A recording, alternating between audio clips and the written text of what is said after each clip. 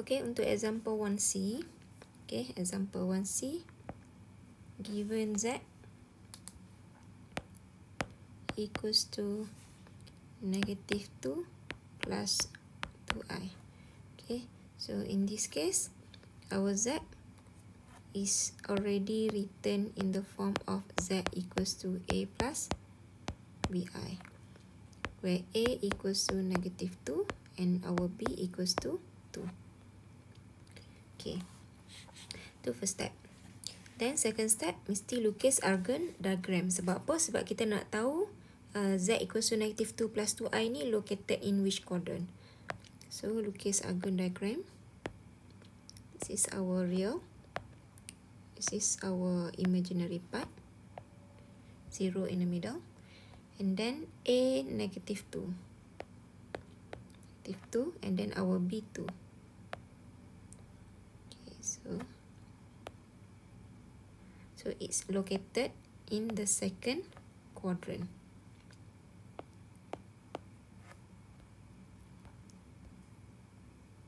Okay, in the second quadrant. So this is our theta. Okay, theta kat sini. Theta kita uh, positif lah. Sebab uh, first dengan second, uh, theta kita positif. Kalau third dengan fourth, theta kita adalah negatif. Okay. Alright. Then next step adalah kira apa? Kira modulus. So modulus Z equals to okay. Formulanya adalah A squared plus B squared. Okay, square root of our A is negative 2. Negative 2 squared 4 plus b equals to 2. So 2 squared equals to 4. So you will get set 8. Which is also equals to 2 set 2. Mungkin ada tanya, macam mana dapat 2 set 2? Ha, kalau kalkulator canggih, you tekan je kalkulator canggih, dapat 2 set 2. Okay, kalkulator canggih tu yang mana? Yang Casio Class Width yang warna putih. Okay. Tapi kalau tak ada yang canggih pun tak apa. Pakai je kalkulator yang biasa yang warna hitam tu pun boleh juga. Tak ada masalah. Okay. Ha, tapi kalau konsep di sebaliknya macam mana dia dapat. Okay. So sebenarnya set A is actually equals to set of 4 multiply by 2. Then kita split. Akan jadi square root 4 multiply by set 2. Okay. So square root 4 you will get 2. Set tu memang set tu lah. Okay. Ha, itu sebenarnya konsep dia. Tapi kalau guna calculator memang terus dapat lah. Okay.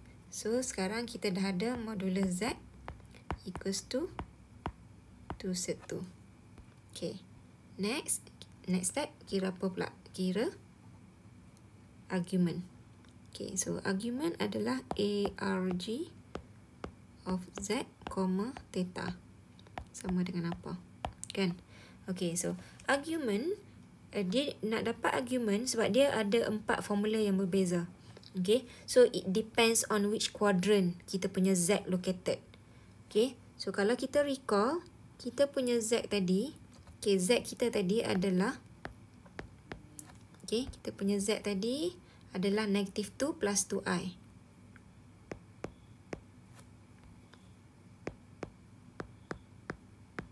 Which is located in the second quadrant. Okay, kalau second quadrant, tetanya sama dengan apa? Recall. Ha, kalau tak ingat, tulis satu kali. Okay, theta equals to pi minus shift tangent of modulus B over A. Okay, ha, ini formula dia. Okay, so itu kena ingat lah. Dan uh, kita tahu kalau nilai theta dekat first dengan second uh, quadrant always positive. Kalau theta tu located in the third dengan fourth, uh, theta uh, argument dia ataupun theta dia tu adalah negative. Ha, itu yang you kena alert lah, kena ingat. Okay. So now kita dah ingat dah formula. Okay. Therefore, theta. Okay, therefore theta equals to pi minus shift tangent of k. So tadi our A equals to negative 2, our B equals to 2. Okay, so formula dia B over A. So B adalah 2 divided by A negative 2.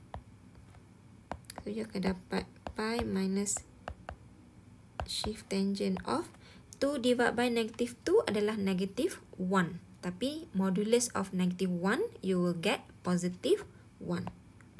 Okay. So yang ni boleh straight away guna calculator. Okay. Yang ni pun sama juga.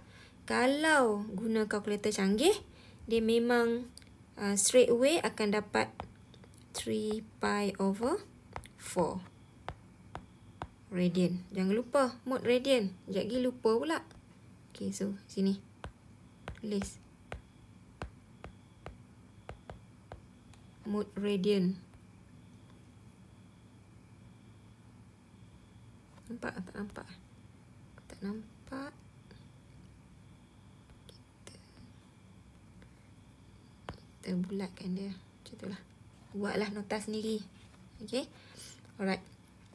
So, uh, radian. Ataupun kalau kalkulator biasa, kalau kalkulator yang tak canggih, okay, you tekan saja. Okay, first mode radian and then tekan um, shift exp tu untuk dapat pi and then minus shift tangent of 1. Okay, you akan dapat 2.356 radian. Okay, so ada dua lah.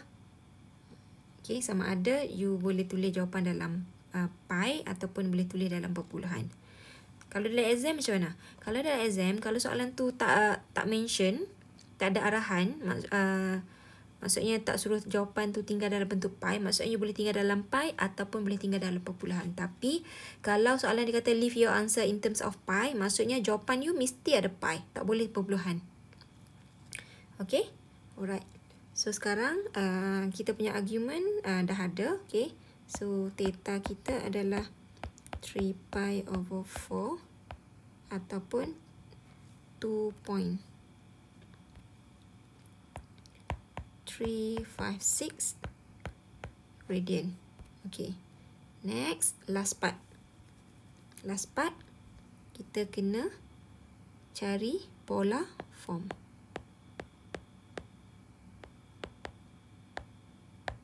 Okey, apa formula dia? Ha, kalau tak ingat, kena buat apa? Tulis 100 kali. Ya, betul. So, R equals to cos theta plus I sin theta. Saya tulis ni bukan maksud saya tak ingat.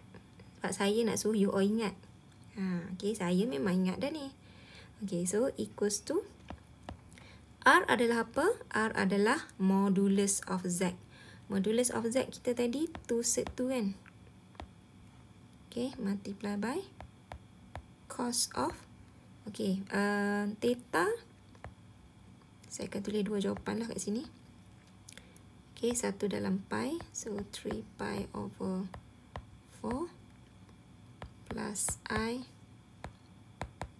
Sin 3 pi over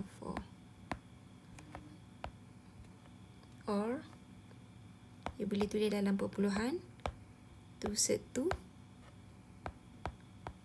cos of 2.356 plus i sin of 2.356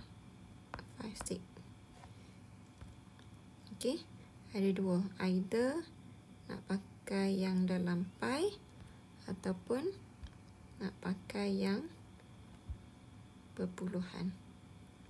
Okay, sebab soalan dia tak bagi tahu kan. Ha, jadi up to you lah.